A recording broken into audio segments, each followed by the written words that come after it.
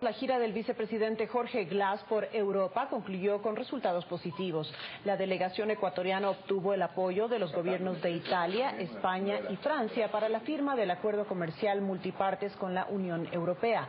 La comisaria de comercio de ese organismo, Cecilia Malmström, también mostró su respaldo a la concreción del acuerdo. Glass aprovechó su visita por el viejo continente para reunirse además con empresarios e inversionistas europeos interesados en desarrollar relaciones comerciales con el Ecuador.